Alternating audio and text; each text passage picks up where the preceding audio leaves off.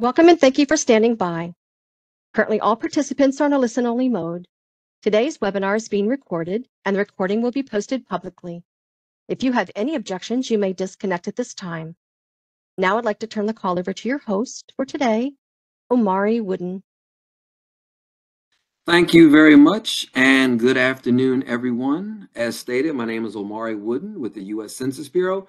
I'd like to welcome everyone listening in to today's webinar of the Puerto Rico webinar series. Today's webinar is the first in a four-part series hosted by the U.S. Census Bureau, and this webinar was created to highlight the data and resources available for Puerto Rico.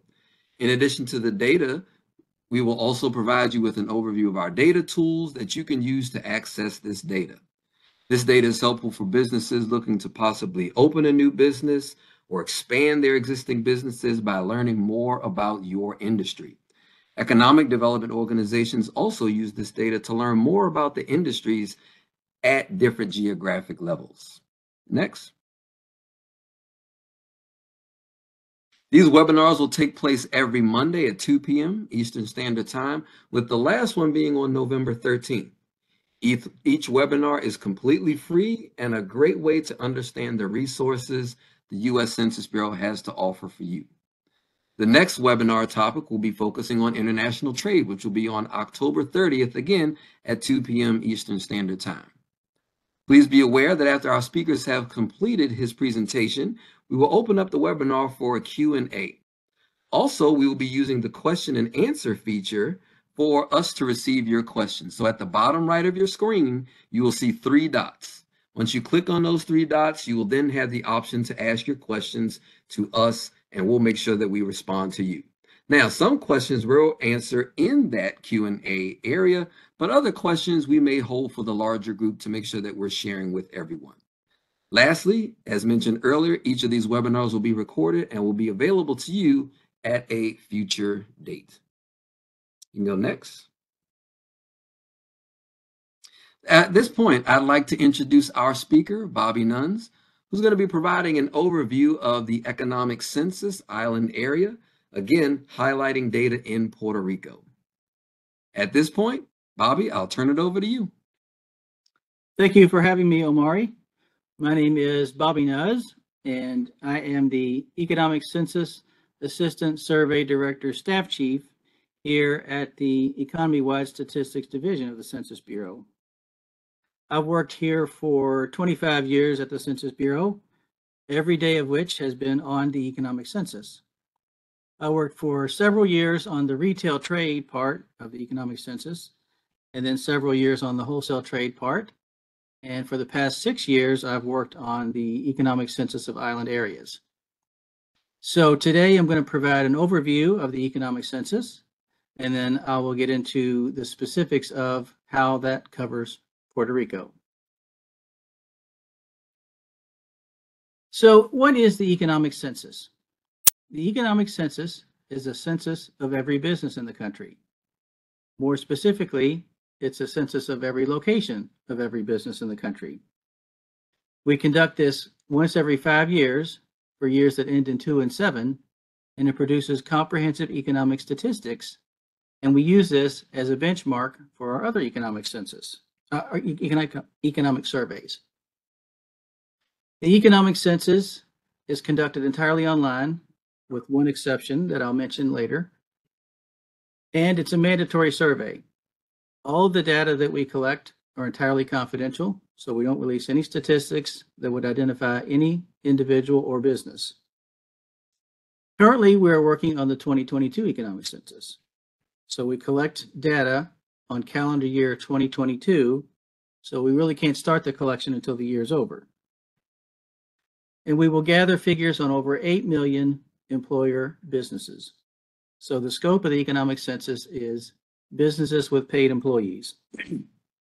so of those 8 million, we will collect data directly from 4 million of them. And then the rest we will use administrative records.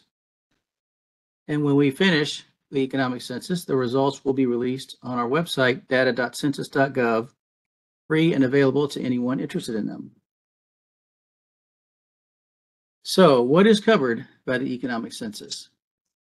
The economic census covers 19 industrial sectors of the North American Industry Classification System, or NAICS. And this includes about 950 industries. We will collect data on almost 8,000 products and services under the North American Product Classification System, or NAPS.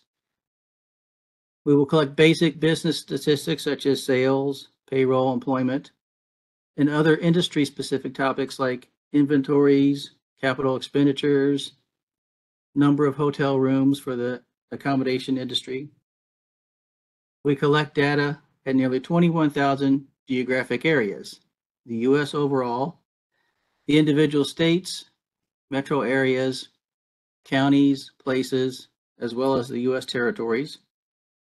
And then we collect data on 16,000 cities and towns. And then also by each of the island areas. This slide shows the coverage of the NAICS sectors. So we cover all of the NAICS sectors except Sector 11, which is agriculture. This sector is covered by the Census of Agriculture, which the USDA collects. Now, for the 2022 economic census, we will be covering two industries within Sector 11, although that does not apply to Puerto Rico or the other island areas. So there are over 30 million businesses in the US, but only 8 million of them have paid employees. So that's the scope of the economic census, the roughly 8 million businesses with paid employees. Now, only 4 million of them will be included in the economic census for direct collection of data. The remainder will be covered by administrative records. Of the ones that we directly collect, 700,000 or so establishments will be covered by account managers, which are employees here at the Census Bureau that work directly with some of the larger businesses to assist them with reporting. What's new for 2022? For the 22 economic census, we have a new adaptive collection instrument that includes machine learning and natural language processing. So this allows the businesses to put in search terms to highlight their specific industry or the products and services that they provide. So when we mail out the economic census, we have information on what industry the businesses are in, but that's not always correct. Or sometimes businesses change what they do. So this instrument allows them to search on their own, and that will allow the questionnaire to be tailored to their specific industry and their specific products and services. We also have an expanded outreach and communication plan for 2022. And we also have new content to capture data on emerging topics, one of which we were able to include for Puerto Rico this time, the use of business technologies such as robotics and self-serve kiosks. So who uses the economic census? Congress uses it for policymaking. Other federal agencies use it as the basis for economic activity, in particular, the Bureau of Economic Analysis. The BEA uses it as a benchmark for their gross domestic product statistics they produce for the for the nation. So the BEA uses this in conjunction with the other current surveys that we do of the economy on a monthly, quarterly, and annual basis. State and local governments use it for regional planning and emergency management issues. Trade associations use it to gauge trends in their industry's products and services. Individual businesses use it for market share, product development, putting together business plans, loan applications. Researchers use it for detailed information on sales, employment and payroll. And then we here at the Census Bureau also use it to benchmark our other surveys that we do monthly, quarterly, and annual annually. And then we also use it to update our business register, which is our frame that we use for all of our economic surveys. Currently, we're working on the 2022 economic census. As I mentioned, we wait for the survey year to be over to start the collection. So on January 31st, we held our initial mail out to the businesses. And this included a letter with instructions on how to log into our secure portal site and how the businesses can use their specific code to log in and access their survey. We sent out due date reminders on March 1st, and then our due date was March 15th. And then ever since then, we've been doing a series of scheduled follow-ups by mail, email, robocalls, and telephone. Now you'll notice by the mail bullet, it says including paper for island areas. So we do still have paper questionnaires for the island areas. And we're working towards our closeout, which is November 17th, coming up in a couple of weeks. We had an expanded outreach campaign for 2022 that involved tailored data stories. We had an expanded outreach plan for Puerto Rico, which included high-level meetings in Puerto Rico between census officials, Commerce Department employees, and stakeholders in Puerto Rico. We had a radio, print, and billboard advertising campaign. And then we also developed promotional pages in Spanish and English for respondents both in the US and in Puerto Rico. And here's an example of our tailored messaging campaign. So we have several different messaging campaigns for different parts of the US. And then including in the bottom right, you'll see there's one for San Juan. We also developed a promotional website in English and Spanish for the first time. And again, this is for respondents both in the US and in Puerto Rico. This is an example of our promotional materials in Spanish. This is a trifold brochure that was translated into Spanish. And again, we use that in the stateside and the economic census of island areas. So now I'd like to talk a little more specifically about the economic census of island areas. So this covers the five permanently inhabited U.S. territories, American Samoa, Guam, the Northern Mariana Islands, the U.S. Virgin Islands, and the largest, of course, Puerto Rico. Now, the U.S. has other territories, but only these five have permanent populations. So only these five are included in the economic census. so who uses the economic census of island areas? Basically the same as the stateside economic census. Governments, in particular the governments of these five island territories, they are very interested in these statistics because they're the only collections of detailed data about their economies, businesses, academics, etc. And the main user of our data is the BEA for their GDP estimates for the five island territories. We don't have those monthly, quarterly, and annual surveys of the economy. So BEA uses this five-year economic census to inform their GDP statistics going forward the next five years. So a little history of the economic census. The Census Bureau has collected statistics on Puerto Rico's economy since soon after it became a territory. There was a census of manufacturers in 1909 and 1919, and then gradually other sectors were added, and then it's been conducted as part of a regular economic census since 1949, tracking the development of the stateside economic census. And the other four territories have been included and expanded in the latter part of the 20th century. So what is the economic census of island areas? Is it the same thing as the economic census or not? And the answer is yes. It is part of the overall economic census.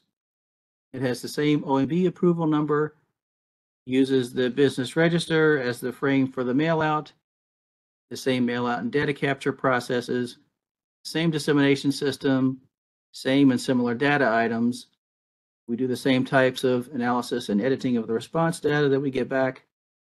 And then we have the same reference periods, years that end in two and seven. But there are some big differences, the biggest of which is that these islands have much smaller economies than the overall US. Also, we don't do sampling in this program. So previously I showed the slide where there were 8 million employer businesses, but we only collect data directly from 8 million of them. I mean, from 4 million of them, sorry. In the economic census of island areas, we mail to the entire universe. We also collect via eight sector-specific questionnaires. So as an example, the wholesale trade sector of the stateside economy uses 87 different questionnaire types to collect their data. Whereas in the island areas, we just have one sector to cover all of wholesale trade. And that's because we're publishing at a higher level of the NAICS structure. We also still have paper forms. And this comes in handy because of the weather that can impact these areas. And also there are connectivity issues in some of the smaller islands. So the biggest difference, of course, is the size. In 2017, Puerto Rico had 42,559 establishments and over 188 billion in combined revenue. So how does that compare to the overall US? Where would Puerto Rico be if it were a state? So Puerto Rico would actually have more establishments than 14 states. Would have more revenue than 15 states. So it compares favorably to some of the smaller states, but still, compared to the overall US, it's much smaller. So in the island areas, a lot of these areas can be dominated by one employer or one industry. This is an example of Puerto Rico's revenue by sector in the 2017 economic census. And you can see the dominance of manufacturing. Now, it's not quite so dominant when you look at the employment. This is more of an even distribution, with retail being the largest by employment. But it's an example of how manufacturing can dominate, and you just wouldn't see that in the overall stateside economy. So what type of data do we have for Puerto Rico? For 2022, we will be releasing 49 tables with data about Puerto Rico. We have two tables to release basic statistics on sales, payroll, and employment.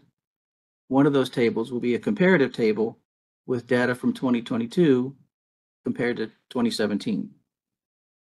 We have four tables that release product line statistics on the NAPS basis. Three of those will be specific to the accommodation sector.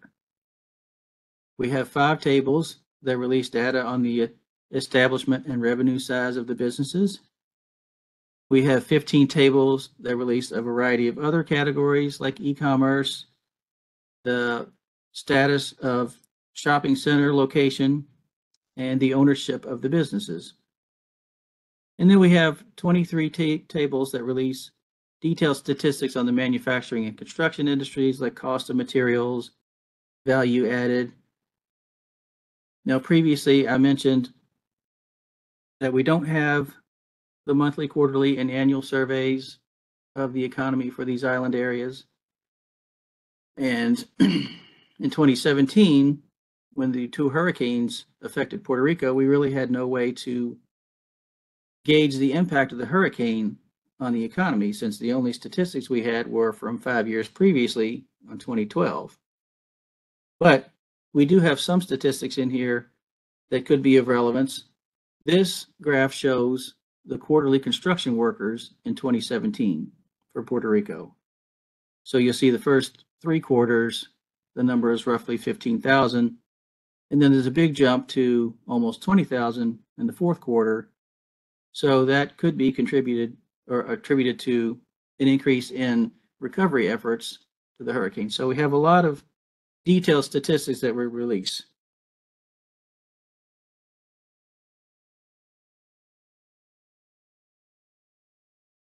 We also release a lot of detailed geographic data for Puerto Rico. We will release statistics on the territory overall, by municipio, which is a county equivalent, by metropolitan micropolitan area, by combined statistical area, of which there are three in Puerto Rico, Mayagüez, Ponce, and San Juan, and then by the planning regions, which are combinations of municipios. This table shows the release schedule for 2022. So the first data from 2022 will be released in the first look report in March. That's just for the stateside US. All of the island areas data will be released in June and July of next year for the four smaller territories, and then December of 2024 for Puerto Rico. And this is an accelerated schedule. We had previously planned to release Puerto Rico in June of 2025, but now we moved that up six months. So our plan is December of 2024. And then the rest of the stateside data will be will be released over the next year or two up until March 2026. And all of our data will be released at our dissemination site data.census.gov, free and available to anyone interested in them.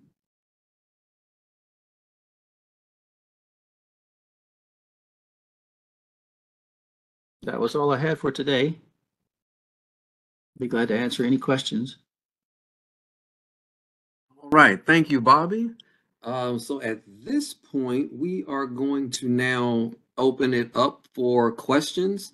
Uh, one of the great things is we have received a couple of questions already in the chat, Bobby, so I will share those with you. Um, as a reminder to everyone listening in, uh, to the bottom right of your screen, you'll see the three dots. You select the three dots and then select Q and A option. That will give you the opportunity to ask a question.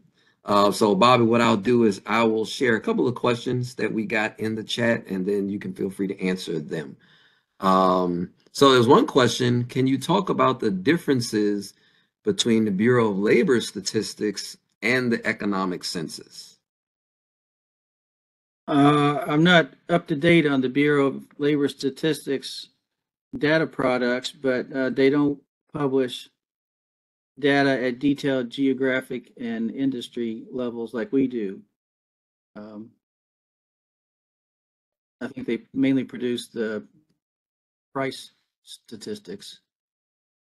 Yeah, Bobby, I'll, I'll jump in. This is Mike Sprung. That um, you know, traditionally, I'm not, I'm not, I'm not 100% certain what they have for available for Puerto Rico, but traditionally, Bureau of Labor Statistics data would be they'll publish employment by like an occupation versus what the economic census data would produce, and that's um, the employment by an industry type. But that's, that's certainly one of the key differences in, in the data that they have that we have from them. Cool. Thanks, Mike. Mm-hmm. Um, another question that came in, um, do you gather data? And one of the things too, to, to this question, do we gather data in education, including public schools?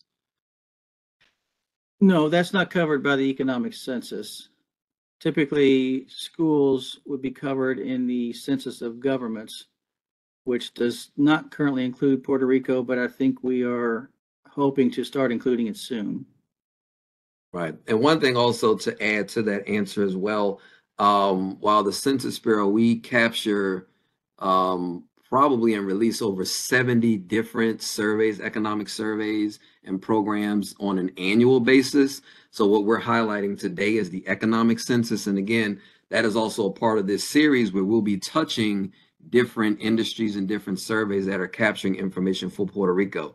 So there are other survey products that we have, again, that are now speaking to education, whereas the economic census is focusing on employer businesses. So just wanted to just add that to to that response as well. All right. Uh, let's see what other questions we have. Oops, something just popped up in my chat. Other things keep popping up as I'm trying to scroll down. Give me a second.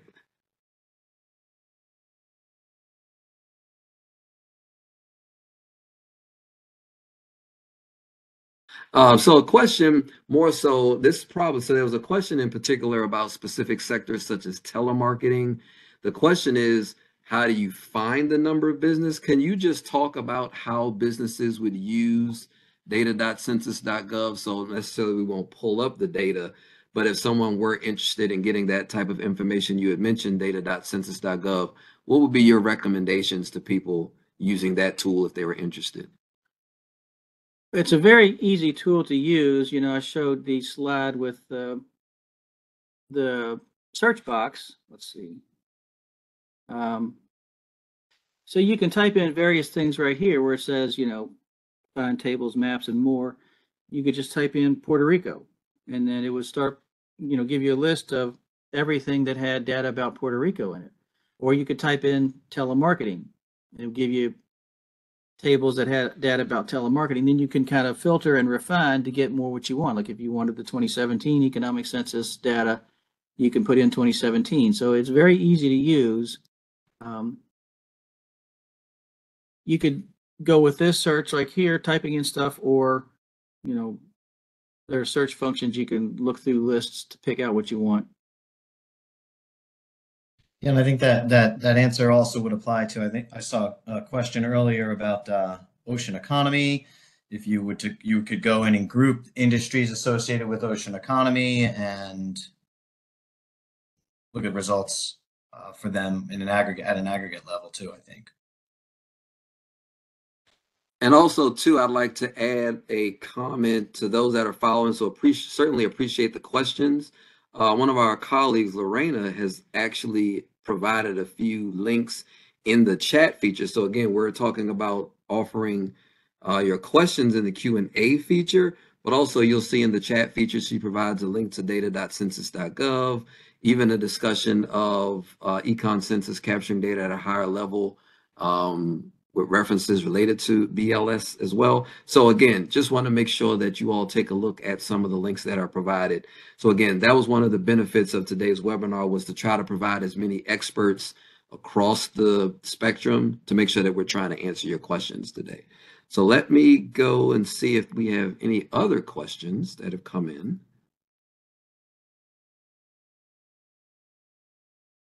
So I will say, uh, Bobby, while I'm actually double checking, I wanted to see if you could tell us about some business examples where businesses have used this data.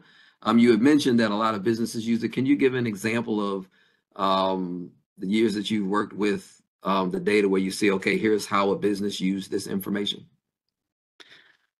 Well, like I mentioned in the slide, a lot of them use it for uh, business plans. So, you know, if you had a company that had a location in San Juan, say, and they wanted to expand to other parts of Puerto Rico, they could easily get numbers of establishments in that industry by municipio all across the island. So they could easily tell, uh, um, you know, how many businesses would be in different parts of the island to pick out where they might want to expand. They can also use it for business loans Okay, cool. Thank you.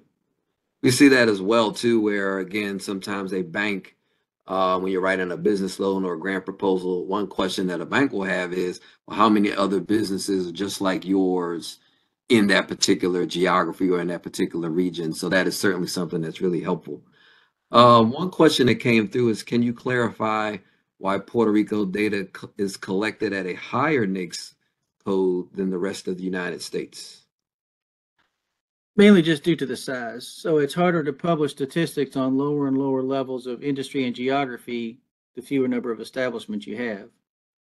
So, you know, I mentioned the wholesale trade, they have 87 different form types because they publish down to the seven and eight digit NAICS level. So, you know, if we're not going to publish to that level, we don't need to collect at that level.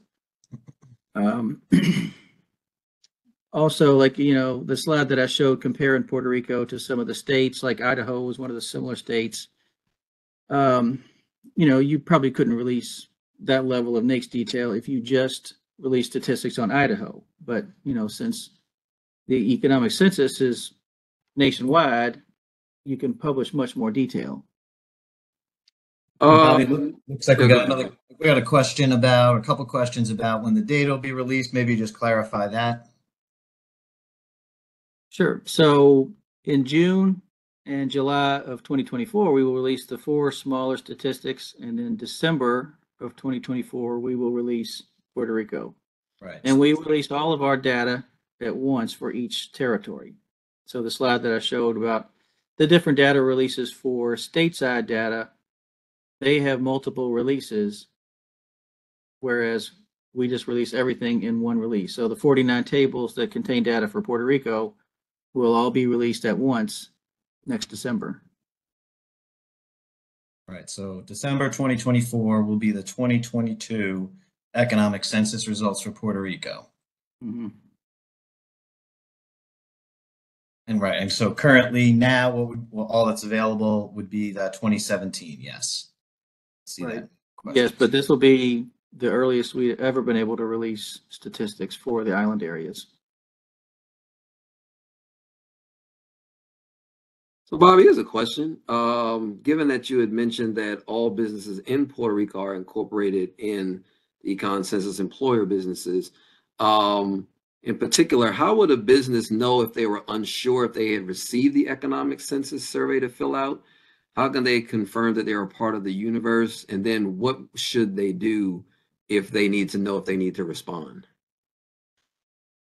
Um, if they didn't receive anything in the mail, then they wouldn't be subject to it. Uh, if they're questioning whether they, you know, the mail didn't go to the right place or something, they could check, like you could call us and ask, we could verify based on their employer identification number. But typically, if they don't get anything in the mail or an email from us, then they're not subject to it. But it does cover all businesses with paid employees in Puerto Rico. Okay. Yeah, I have a comment that at times that the addresses in Puerto Rico at times can be a challenge. So some businesses maybe received it, maybe they didn't, but that can certainly be a challenge that we're trying to work through. Yes, definitely. Absolutely, right, and, and Bobby, what we, so where we could, after a certain number of follow-ups, if we had an alternate address, we did send letters to an alternate address later on in the, in the cycle this past year. Yes. So we collect statistics on the, or not statistics, but we keep information on the mailing address and the physical address of the business. So uh, if one address doesn't work, we will use the other one too. So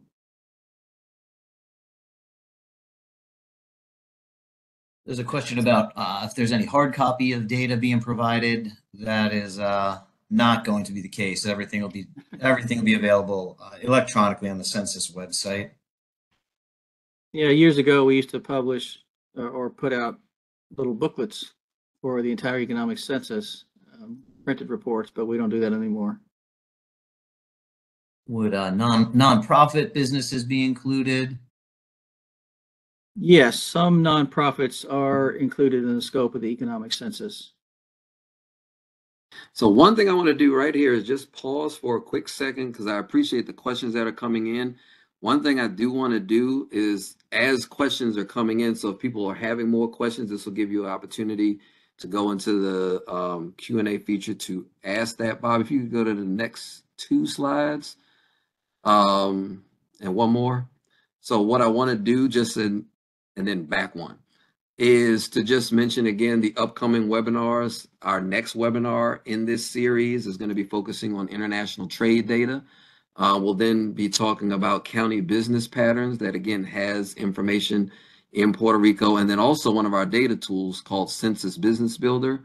And then we'll then dive into workforce and then small business data that we have on November 13th. So again, I just want to take that opportunity to just pause and talk about the upcoming webinars that we have. Bobby, if you go to the next slide. And again, we're still taking questions, but again, I just wanted to make sure I share these before because I know once webinars start to close, people start to log off. That we do want to make sure that we're sharing the importance of our surveys and ultimately of the content that we are providing. So what we'd like to do at this opportunity is, Lisa, if you can, if you can drop the uh, URL for our evaluation, that again, as we're still receiving questions, but if we wanted to take this opportunity to make sure that we add a link in the chat feature that will allow you to give us comments, give us feedback as it relates to um, our webinars, our training. What did we do well today? What did we do that could be better to make sure that we're meeting your needs? Um, so we were going to make sure that we post that in the chat. And again, it only takes a few minutes, but again, it is a big help and it allows us to shape our content and our training and our material. So I did just want to take a quick pause for that. And now we can go back to the questions. So again, appreciate the questions that we've got coming in. Uh, one thing that I did want to add on uh, as it relates to Puerto Rico sometimes we get questions related to do we have stakeholder engagement? How do we engage with communities in terms to raise awareness?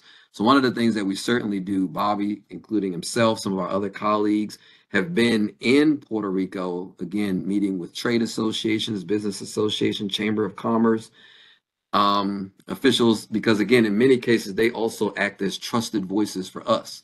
So we're sharing about the importance of the data, the importance it is to respond. So that's one of the great ways that Census as a whole is partnering with stakeholders in a sense where they're boots right there on the ground. So we're always looking for opportunities to work with stakeholders, work with communities, work with local associations to again remind them about the importance of the data that we have available. So let's see if we have any other questions that were queued Uh. Bobby, mi- someone asked, yeah, for some clarification on um, the comparison with Puerto Rico as uh, if it were a state compared with the uh, the, the the 50 states plus DC. Um, the question says it has 15 states doing worse than Puerto Rico. I, I you wouldn't say doing worse, right? It's it's No, no. they just have less less. Uh, the the numbers you put up were for a number of establishments. Is that right? Yes, right, and combined revenue. Okay. So for Puerto Rico and the other territories, we release a total NAICS level, sort of like if you summed up all of the NAICS sectors, we release what we call a NAICS sector zero zero number. Uh, the state side economic census doesn't do that, but the way I got those numbers was just basically to add up the numbers for each of the sectors in that state. So it's not really a um, indication of how Puerto Rico is performing economically versus states. It's just to show the size, like number of establishments and combined revenue.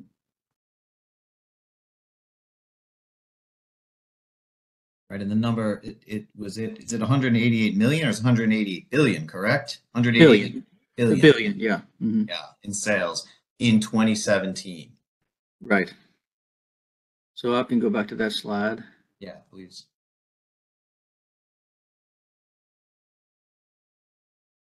Yeah.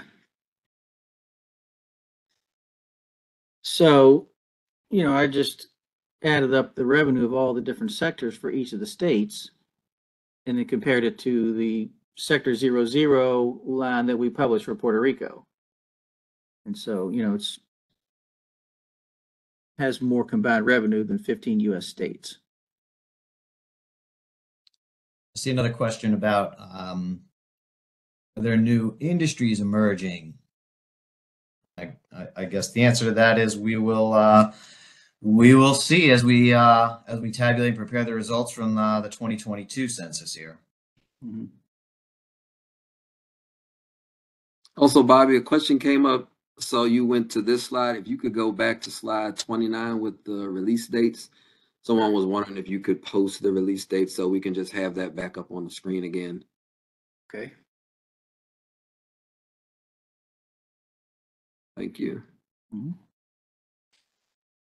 Also, there was a question too. Um, are there any plans possibly for 2027 um, for given the popularity of the Spanish content, any considerations for the Spanish content also being available for our online um, instrument? Yes, I think that's a high priority for the 2027 economic census.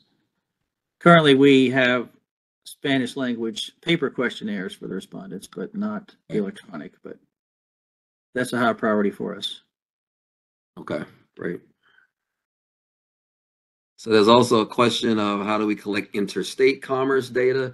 So again, that goes back to the discussion of other economic surveys and programs that we have at the Census Bureau. So that would be something that would be caught, captured under our commodity flow survey, is also a five-year survey, a five-year program that measures movement of interstate commerce.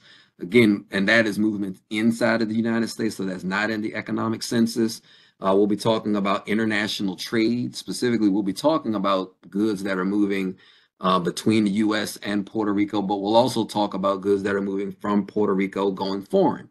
So while economic census has a component, there are also many other surveys and programs that capture other types of industries, not only other types of industries, but other types of ways that we're measuring the economy, whether it be through workforce, whether it be through international trade, and even interstate commerce. I just wanted to mention that to one of the questions as well.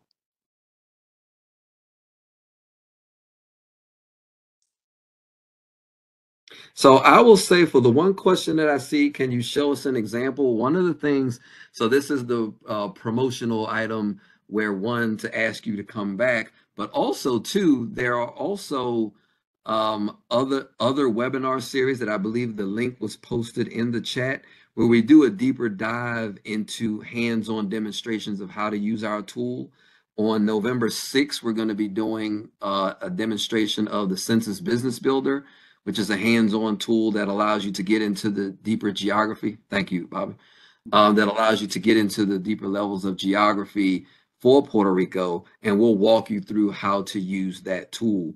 But again, as I believe Lorena posted in the chat as well, there have also been other series where there are deeper dives on data tools. So again, one of the things to just also complete the circle, this is one part of this webinar series that we're providing so much information. So some of those other webinars we're going to be providing uh, will be a deeper dive on the data tools, whereas today was an overview of the economic census island areas. Uh, speaking of going back to the release dates in the chat, I posted a link to the uh, the current planned release schedule. And I, I use the word planned because if you go to it and look at the island area statistics, you'll see for Puerto Rico, the planned release date was actually June of 2025 when we put this page together, and it has since been moved up to December 2024. So uh, in the case of Puerto Rico, we've moved up the date by six months, six months from when we plan to release that data. And I'll make a note to follow up with the web team to make sure that gets updated soon. Uh, Bobby, one last thing. If you could put your um, cursor, oh, I'm sorry, put your cursor. If you could actually scroll down to your last slide that just has your contact information, because there's some questions of, you know, more information and so forth. So just to show you, this is Bobby's contact information. Again, Bobby, thank you for the great details. Mike, thank you for uh, jumping on as well to address some of the questions. Here's some of our contact information. So Bobby's direct information is available. You can also reach out to our data user and trade outreach branch, and they can at least, if not answer the question, possibly put you in touch with the area that may have more details to your particular question. Uh, one of the questions that was just posed is how can we get a hold of this presentation? This presentation is being recorded and will be available. Um, I know there's a time frame that it takes to develop the transcript and to lock all this presentation in, but this presentation will be available online and will be posted. Okay, thank you, Lisa, right on cue. So this will be available probably two weeks um, after today. So make sure you're on the lookout for that so that it will be available so you can follow up on any of the details that we had uh, shared with you all today. So Omari, I see. Uh, I do see also another question about how to, uh, if we can walk through using the search feature, and I, I, I'd say we're probably not prepared to do a demo of that right now, but maybe that's an idea for a potential future webinar. I'm, I'm sure that as we get close to releasing data, we'll, we'll, um, we'll have some, some way to do a webinar that, that uh, explains how to access the data and use the, use the tools that we have. Agreed. Agreed. So again, as I mentioned earlier with feedback, that's one of the things that will make, certainly make sure that we incorporate uh, to make sure that we can have that included in some way in our future presentations. So appreciate that. Bobby, there's another, there's a question about uh, the data being aggregated at a, at a higher level for Puerto Rico or the other island areas. uh, And, and does that prevent it from being easily compared with, with some of the stateside data? Um, Do you have any experience or or comments you want to make on that? No, it doesn't keep it from, you know, being compared to stateside data. It's just harder to publish at a lower, more detailed NAICS level when you don't have as many establishments. You know, so if Puerto Rico had roughly forty-three thousand establishments, um, similar to Idaho. So, you know, we couldn't publish seven or eight digit detail on lots of the industries if we were just publishing stuff in Idaho. So it's kind of the the same thing there. But Right, but the it's states- you know you can still compare it. You know. Right. The states, this uh, data are rolled up in states, some of the smaller states or where there's fewer of a certain industry. Uh, data are aggregated in states just the same way that they are in for Puerto Rico. Right. Right. So like, you know, one of the more detailed codes like would be um, a wholesale lumber yard that has lumber in a yard versus lumber not in a yard. That's a level of detail that we wouldn't publish in Puerto Rico, but you can publish it if you're publishing at the US level. You probably can't publish it for Idaho either, you know, but if you just are dealing with 43,000 establishments, you, you can't publish that level of NAICS detail Right. because you know when you look at the number of wholesale establishments i think roughly puerto rico has about 2000 wholesale establishments um, so it just gets thin when you're when you're dealing with a smaller area Yeah, I guess the, the right way to say it for me, what I should have said was Puerto Rico and, and the states, the smaller states, right? The 14 or 15 states with less establishments all suffer from similar, similar need for aggregation to protect the identity of individual businesses, which we take extremely seriously. um, Right. In the information that we release. Yeah. Um, There's another question about consideration for adding variables uh, to the collection of census data in the future. And, and we can almost link that to the question above asking about response right now. Um, the, response numbers always change, and I don't have the exact numbers right now. But uh, when it comes to adding questions, I, I think that we, we always carefully review the content from one economic census to the next, and we, we carefully weigh the amount of burden that we're placing on respondents and try to keep that as low as possible because too much burden would low in turn lowers our response, which isn't good either. And be able to, to produce robust data, we need to get as much response as we can. yeah we do a rigorous process. You know when we start planning the next economic census we put out a notice in the federal register saying we're preparing the next economic census. We invite comments from the public. Um, we also reach out to various stakeholders, you know, this is stateside and island areas part, you know, to ask relevant stakeholders, are there things you want changed? You know, that doesn't mean we're going to, but, you know, we solicit their input and sometimes we do, sometimes we don't, but yes, we go through a, a whole process to determine if we're going to add something. I can't remember if we answered this one or not. Uh, it asked about the uh, the universe of businesses in Puerto Rico. Um, that's the 18, the 18 NAICS that you mentioned. If you, I guess you can go back to that slide. It's the uh, there's 19 on the slide, but the ag services isn't covered in Puerto Rico, right? Right. The two new industries that the economic census is covering does not include Puerto Rico. So it's employer employer establishments in all these industries except 11. Yes, uh, there's few, a few exceptions in here. You know, like for sector forty-eight, you know, we don't include the postal service. But for the agriculture, it's the two support activities that were added to the economic census. But the rest of that sector is out of scope.